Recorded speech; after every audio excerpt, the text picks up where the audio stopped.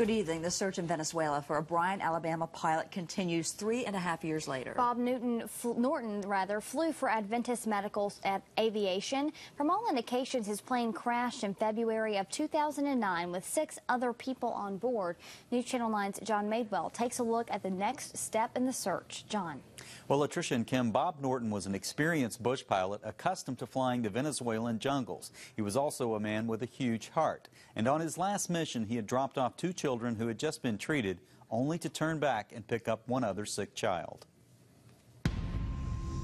He turned to me one day and he said, Mom, if a plane got lost in this jungle, it would never be found.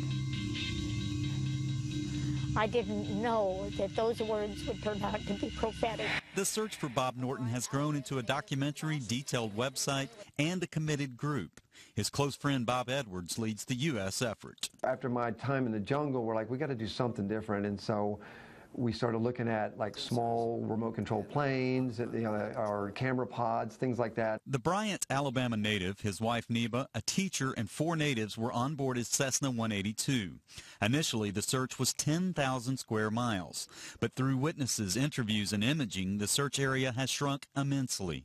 Venezuela's civil protection has been a tremendous help, and the team is ready for the next search. So when we bring this camera pod down, we'll be working with them directly put it on a small Cessna, go fly the next area that we think is the most probable zone that he could have crashed. A Brazilian miner has proven to be the best witness. If he's right, then we think it's in a corridor of maybe about 50 square miles or less, so it becomes much more searchable. In two to three months, the team returns to Yosemite to plan and strategize with search experts. They do this for a man who loved to help others. You find the plane, you find out what happened to it. You know, was it a mechanical failure, electrical failure, whatever, and uh, and then the families know, you know, everybody knows, then.